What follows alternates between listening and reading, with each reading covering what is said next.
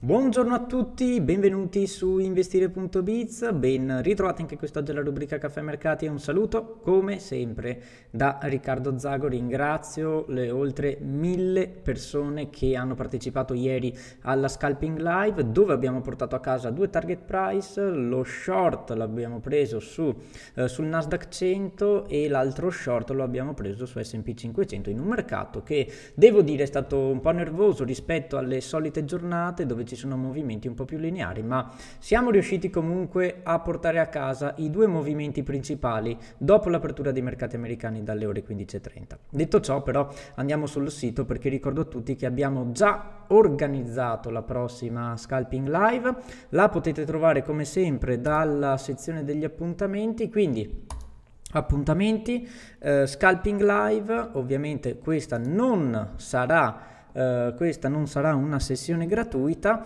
uh, però insomma se siete uh, interessati la trovate, la trovate, qui. Ricordo invece a un prezzo di 79 euro. Ricordo invece che chi ha un conto con il broker Kimura Trading o ne apre uno entro la prossima settimana può partecipare a solamente 49 euro.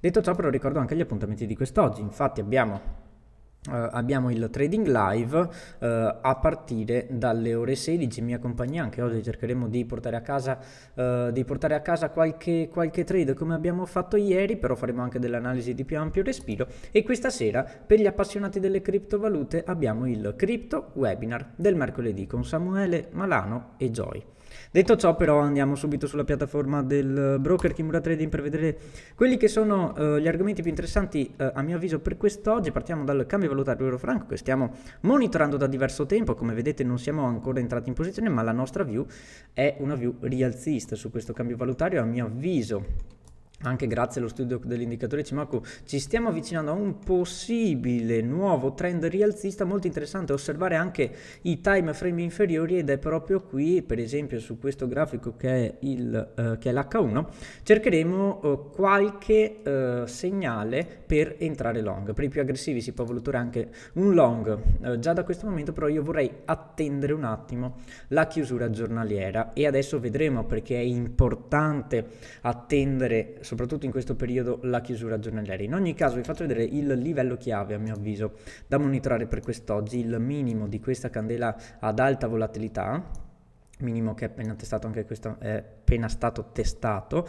0,9640 0,96 e 30 da qui i prezzi potrebbero ripartire al rialzo. Ma attendiamo eh, la chiusura giornaliera per entrare long. Per i più aggressivi invece ok si può valutare un long da questi livelli. Ricordo che gli obiettivi rialzisti sono 0,9780 eh, e come secondo obiettivo abbiamo 0,98 eh, e 50 detto ciò però andiamo a vedere anche altri strumenti e andiamo, e voglio uh, mostrarvi perché è importante attendere la chiusura giornaliera. Ieri sera, durante l'aggiornamento di trading con l'Ingemaco Price Action, ho parlato di un potenziale long su GBP USD. Potenziale long perché? Perché ieri i prezzi si trovavano, mentre stavo registrando, su questa zona, quindi sulla zona dei massimi. Che cosa è successo però? Dal momento in cui ho uh, registrato quel video alla chiusura della candela giornaliera, che i prezzi uh, che la direzione del mercato è totalmente cambiata. I prezzi non solo hanno, sotto, hanno chiuso sotto il minimo uh, di ieri, del giorno precedente, scusate, ma addirittura sul minimo di giornata, comunque molto vicino. Quindi questo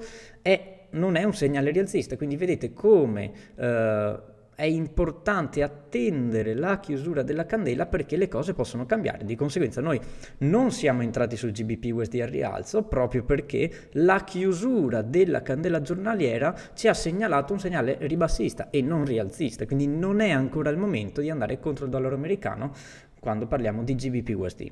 Questo è esattamente anche quello che è successo sul gold. Come dicevo ieri, eh, c'erano delle possibilità, possibilità rialziste, ma solamente alla rottura in chiusura giornaliera del livello di 1680, perché noi andiamo a eh, individuare, cerchiamo di individuare i livelli più importanti e attendiamo poi la chiusura della candela, del time frame di riferimento, se la nostra strategia è sull'H1 attenderemo, attenderemo l'H1 in questo caso stiamo parlando di operatività sul time frame giornaliero e i prezzi non hanno chiuso sopra il livello di 1680 e quindi anche qui il segnale rialzista che abbiamo visto ieri prima della chiusura è stato annullato da che cosa? Dalla chiusura della candela giornaliera che ha chiuso come potete vedere qui in area 1666 quindi non è ancora il momento per entrare long sul gold.